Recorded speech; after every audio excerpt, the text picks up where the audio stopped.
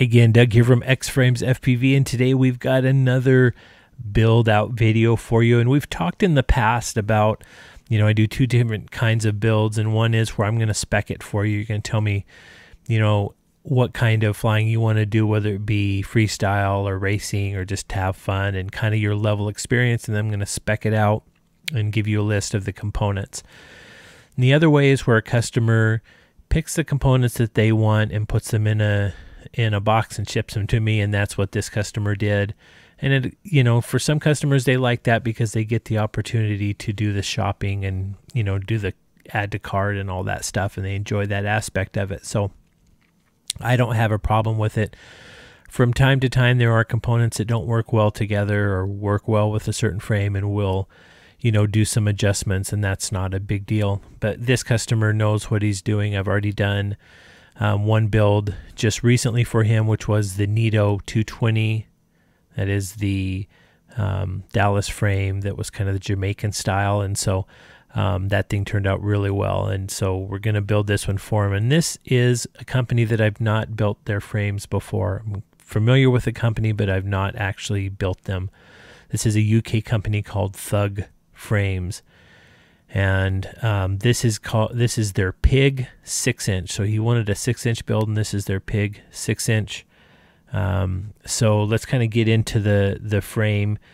Um, I did weigh the frame. It's 134 grams with all the hardware. So it's a little on the heavy side but you know remember it is a six inch frame. So I wouldn't say that that's really too heavy for a six inch frame. I would say that's probably average and even maybe on the low side of average for some of the six inch frames the PDB we have here, well, if you've watched my videos, you know I'm going to gripe about it again, which is no voltage regulators.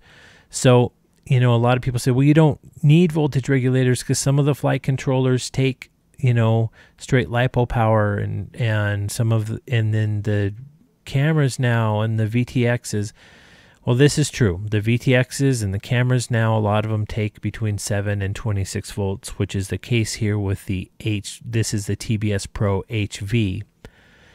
But the problem with that is if you run just straight LiPo power, so if you're running a four cell, you run your 16 plus volts to that. Over time, with the spikes that you get back through the PDB from the ESCs, you will fry those flight, I'm sorry, the VTXs. And so on all of my builds and, you know, all the racers that, that I know, everybody puts the, the camera and the VTX on voltage regulator power. So um, I'd really like at least 5 volts. Give me at least 5 volts, and then I can, you know, if I need to add 12, I can add it. But that's just a pet peeve of mine. This one, because of how they build it, um, this it's it's a little bit different and it, it slides right in that slot. So normally I would run maybe an XT60. Let's see here. And this is going to be the bottom.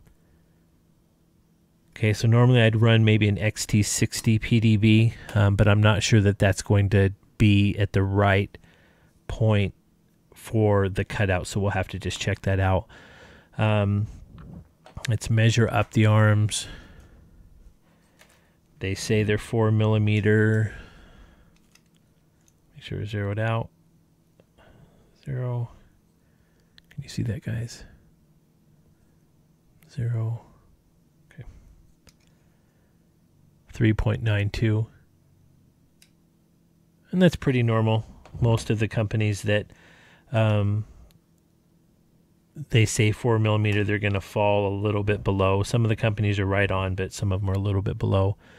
As far as carbon fiber, really nice quality carbon fiber, and then nice and tight weave.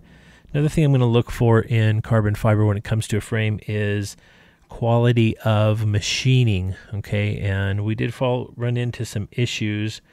Let me see if maybe this would help you.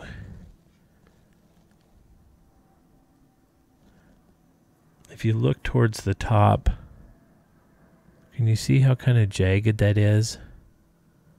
It's really noticeable on the sides there where those long vertical or these well it's not vertical there but uh, these cutouts here, you can really see that it's not very clean. So it's not a huge deal, but it's just something that when I'm looking at quality of frames, it's one thing I look at. So let's get into the components of this build. So being that this is a 6 inch, we're going to go with a 2100 kV motor. And for this, we've got the Cobra 2206. This is the race edition 2100 kV. Let's get that in focus. And this is a really good, powerful motor, right at about 32 grams as far as weight, which is which is acceptable, being it's a 2100 kV and a 2206 motor. So, as far as receivers, we've got this is the Spektrum Diversity. This is the FB Racing receiver. I think it's the 4648. We talked already about the VTX being the TBS Pro HV. This allows me to switch between 20 and 800 milliwatts, which is great. Um, and it's nice and small. As far as cameras, this is the Arrow camera, and he opted for the 2.5 lens. And this is a really nice and clean camera. I did want to show you. So as far as the wiring, you know, um, the wiring for OSD on this thing is so simple. And basically you've got your normal wiring here, which is your video signal, your power, which I'm going to run 5 volts to the camera, and then your ground. And then this wire goes to any of the power positions. So whether it be for your ESCs or, or any other places where you have just straight LiPo power, and that's where you where it gets the information for the OSD system.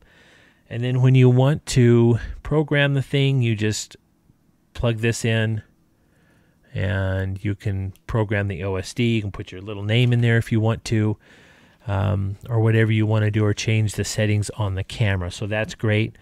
Uh, as far as LEDs, this customer wanted quite a few LEDs on it, so we've got four running out to the arms with a programmable power distribution board here. So that'll be that'll look really great in the sky. Um, got a real great RC Papa lipo battery strap really nice and tight. I don't know if I showed this. This they call this the flak jacket and it's for your battery. You know, this is going to sit underneath, right? This is how they sit is underneath the um, craft. And so this allows for some added strength and so that you're not tearing up your batteries and anybody who flies these kind of frames with the batteries underneath will know, you know, they've they the batteries start looking pretty um, knackered after a while. So, uh, as far as antenna, this is the IBCrazy. This is the Airblade, and I really like these antennas. Really durable, really quality antenna. Nice little addition for um, being able to tighten it in the field without a wrench. Uh, as far as flight controllers, well, you guys could tell by looking, this is going to be the KISS flight controller. And you know, this flight controller, if I'm going to run these KISS ESCs, these are the these are the race 24 amp KISS ESCs. Um, if you're going to run these ESCs, run the KISS flight controller uh, because they just work. There's things that you can do together between the two of them and the way they talk to each other that really makes it an ad, an advantage. Um, but these are really built well, these KISS flight controllers. I know you, that never did get into focus. I'm still learning my my camera, guys. But that's going to be about it. So this should be a really good build. Plenty of power.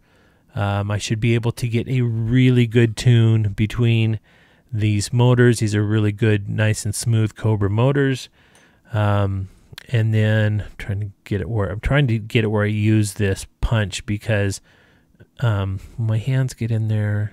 You know, I'm a big guy, so they kind of get in the way. I don't know if you. so, um, it's sometimes I've just got to learn all this stuff, right, guys?